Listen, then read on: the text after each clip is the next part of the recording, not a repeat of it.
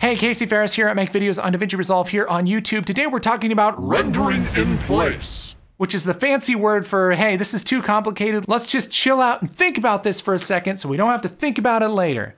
Let's go. I'm in Resolve 17. I have a little edit going here, and I have this nice little graphic here where he opens up the beehive, and we have this little tracked call out that just tells you this is, in fact, a beehive which I, I agree. And once Fusion does the cache, it works pretty well. But let's say for whatever reason, we're having trouble playing this back and we're pretty sure we're not going to change this too much. We just want to render it so that we don't have to wait for this to cache off and on. Well, there's a new little feature in Resolve 17 called render in place. All you do is select whatever clip you want, right click, and go up to the top of our list here, and it says render in place. Then it will ask you what kind of clip you want to make. Let's do QuickTime DNX HD. That sounds good. Let's do 1080p and include video effects. Sounds great. You can even include handles to give you a little bit more room if you want to change things later. But then we'll hit render. It'll ask where to put this. I'll tell it where to go.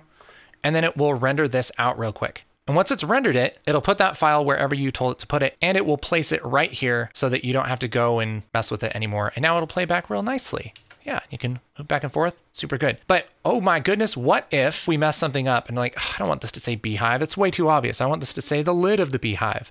Well, because this is rendered out, you can't really do anything about it, right? Well, actually, if you right click and go up to decompose to original, it will relink it to our original footage and our original comp because it just remembers that we did that. Now I can go back to my Fusion page and type in what I needed and go back to the edit page. I can leave it like that, or I can pretty easily just render it in place again now that I've made that little change, we have that rendered in place. Man, this is so slick because sometimes you'll do a comp like this and you're, you're never going to mess with it again. You don't need to take all the extra processing power to uh, look at a Fusion comp. You just want it to work. This is a really slick way to make that happen. Render in place. I know I'm going to use that a ton. If you want more videos on Resolve 17, right there, that's where you want to click. We're making a playlist. I'm going to keep adding to it for the foreseeable future.